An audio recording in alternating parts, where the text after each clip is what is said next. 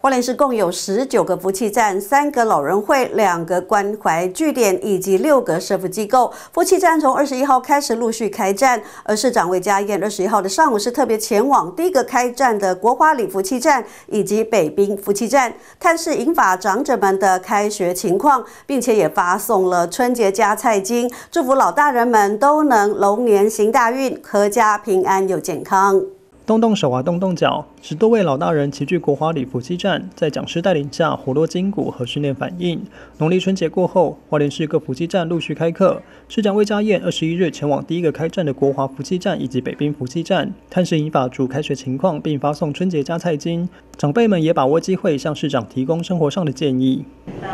道德行不好，养狗的早上天气，狗就在里面尿尿。那你看小朋友，我们现在少子化，细菌又多，那外县市的人家都有。我们那个猫头鹰有先做了，之后其他的我再跟他看看要怎么因为我们感谢市长对我们那社区的关怀，还有一些设施增加，好来说，而且是每年都有在给我们的加菜金。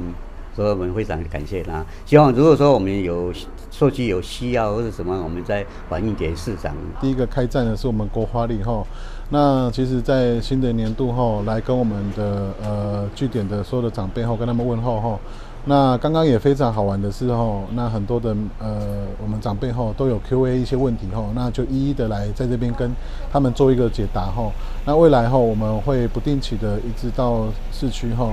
跟我们社区后，跟我们所有的民众后，那有一个 Q&A 的一个座谈哈，我相信这样的这部分哈，其实还不错。那在这边哈，主要也是祝福大家哈，新的一年一切平安哈。那在社区据点的部分，我们会持续的来支持。探视同时，也宣导华林市将有许多大型公共工程陆续开始施作，提醒长辈要注意用路安全。另外，华林市孕妇乘车补助福利也鼓励善加运用。补习站结合社区志工以及社福资源，提供健康咨询及多项身心灵等 DIY 单元，期盼为华林市长者打造舒适、安全、快乐、健康的乐活银法生活。记者蒋邦彦，华林市报道。